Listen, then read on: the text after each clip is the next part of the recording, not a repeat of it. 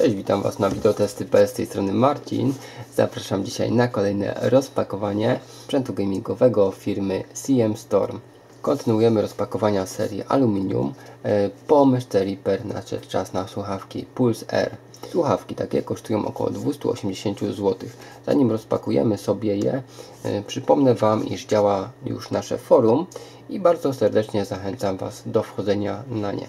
A teraz rzucimy okiem sobie na opakowanie. Widzimy obrazek przedstawiający słuchawki, e, właśnie też te elementy aluminiowe, ale za chwilkę zobaczymy to sobie dokładniej. Producent informuje nas, iż słuchawki generują bardzo dobrej jakości dźwięk e, poprzez 42 mm przetworniki. E, wielkość taka niestandardowa, bo normalnie mamy albo 40 mm, albo już 50 mm, to mamy taki nietypowy rozmiar. Informacje, że aluminiowe płytki są laserowo wykańczane oraz mamy odczepiany mikrofon.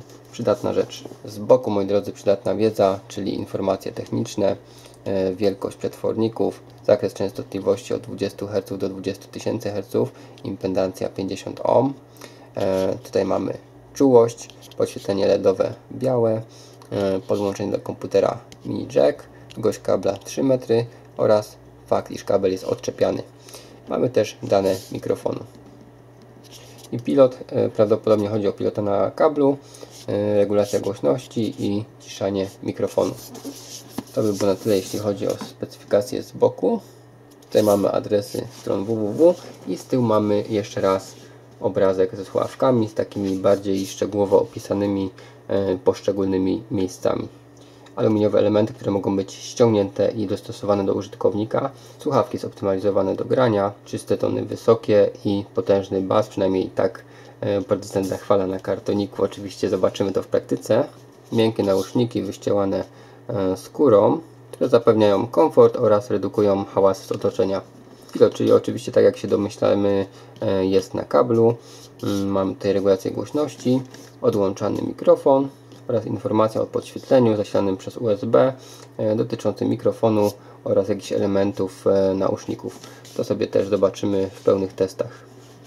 Dobrze, rozpakujmy sobie teraz kartonik. Kartonik cały czarny, a w środku nasze słuchawki. Ok, widzimy też mikrofon. Jest już odczepiony. E, posiada faktycznie taki aluminiowy element z logo CM Storma, wtyczkę mini jack do połączenia ze słuchawkami. E, wygląda dość fajnie i ma tutaj taki e, elastyczny przegub, dzięki czemu możemy sobie mikrofon dogiąć do ust. Dobrze, to by było na tyle, jeśli chodzi o mikrofonik. Mamy taką kartę informacyjną, instrukcję z tymi samymi opisami, które już czytałem z opakowania, czyli dane techniczne, opis połączenia słuchawek tymi wszystkimi wtyczkami, czyli e, wtyczka słuchawkowa, wtyczka mikrofonowa, wtyczka USB do zasilenia mm, tego podświetlenia. I to by było na tyle takie krótkie informacje. Same słuchawki, moi drodzy. Wam, że jeśli chodzi o wzięcie ich do rąk, o taką wagę początkową, e, to są takie średnio ciężkie. Nie są ani lekkie, ani ciężkie, ponieważ e, miałem już w testach lżejsze słuchawki. Natomiast też widzimy ten 3-metrowy kabel. E, zobaczcie, wtyk USB jest taki trochę dłuższy, natomiast jacki mamy krótkie. E, są oznaczone kolorami, żebyśmy wiedzieli, który to jest mikrofon, który jest e, słuchawkowy. I wtyki są takie zwyczajne, niepozłacane. Oplot jest całkiem fajny. 3 metry kabla daje nam dość duży zasięg.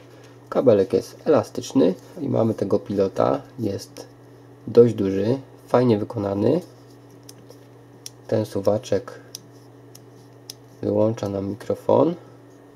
Natomiast tutaj mamy taki suwak do regulowania głośności. Jestem ciekaw jak to się sprawdza w praktyce, ponieważ ten przesuw nie jest wcale aż taki duży. No ale zobaczymy. Tu coś będzie też e, podświetlone prawdopodobnie. Jeśli chodzi o te elementy, są ciepłe, dlatego to jest po prostu plastik e, wyglądający jak aluminium. Tutaj akurat nie mamy aluminium, natomiast na samych słuchawkach zobaczcie, całe boki to jest najprawdziwsze chłodne aluminium e, z takimi laserowo grawerowanymi e, logo CM Storma, znaczy tutaj mamy logo, tutaj mamy napis CM Storm i jeszcze mamy aluminiowe elementy e, ze szczotkowanego aluminium, tutaj wplecione w sam pałąk. Mamy też napis CM Storm i większość elementów jest matowa, poza takimi obwódkami samych muszli.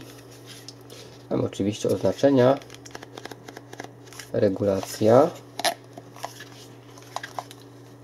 O, wydają się być bardzo, bardzo rozciągliwe, tak więc dostosują się do każdego.